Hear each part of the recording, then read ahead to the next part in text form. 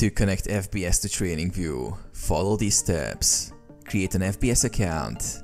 If you haven't already, sign up for an account on the FBS platform. Complete all necessary steps for verification. Download and install MetaTrader. FBS uses MetaTrader 4 or MetaTrader 5 for trading. Download and install MetaTrader from the FBS website. Obtain FBS account credentials. Log into your FBS account and gather your login details for the trading platform.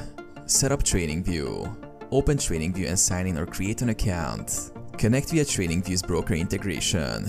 In TradingView, open the trading panel at the bottom of the screen. Look for FBS in the list of brokers. If FBS isn't directly listed, you can use MetaTrader's web trader interface.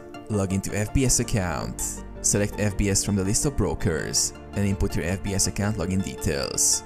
This will link TradingView with your FBS account. Start trading. Once connected, you can place trades and manage your positions on TradingView using your FBS account.